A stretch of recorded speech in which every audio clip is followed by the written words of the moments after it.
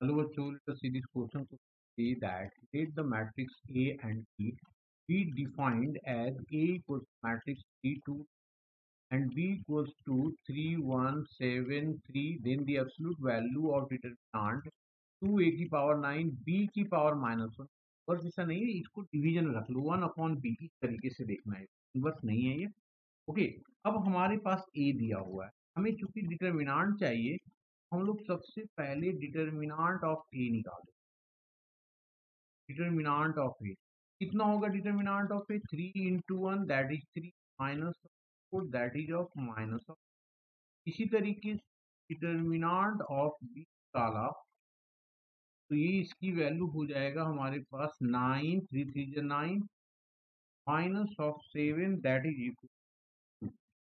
हमने निकाल दिया। अब हम लोगों को चाहिए क्या? Therefore, determinant of 2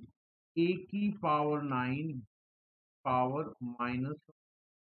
ये क्या होता है? तो हम लिख सकते हैं, देखो टू है ना? ये टू बाई टू का डिटर्मिनांट था, ये बाहर चल जाएगा टू पावर टू हो जाएगा, और ये डिटर्मिनांट ऑफ़ ए की पावर नाइन इंटू हो जाएगा डिटर्मिनांट ऑफ़ बी की पावर माइनस इस इज़ इक्वल्स टू ये फोर कर देते हैं इसको, और ये हो जाएगा हमारे पास डिटर्मिनाट ऑफ़ ए की पावर माइनस सॉरी नाइन और ये हो जाएगा हमारे पास डिटर्मिनाट ऑफ़ पावर माइनस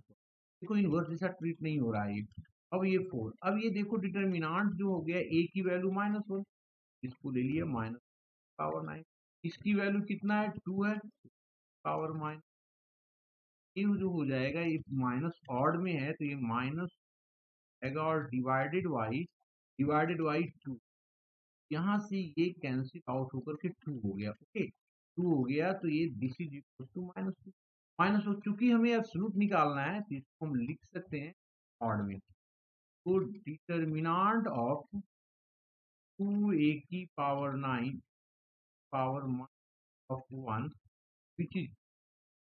यही हमारा क्या होगा? Hope you best of luck